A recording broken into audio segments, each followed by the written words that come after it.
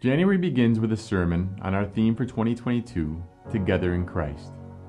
Being a Christian is defined by fellowship, and the community of believers is necessary for each one's journey of faith. The rest of the month will explore different ways we encounter Christ on this journey together. In His authority, in His call, in His healing, in His care, and in His light. Each sermon should leave us with tangible actions we can take to model the conduct of our example, Jesus Christ. Join us in January as we encounter Christ.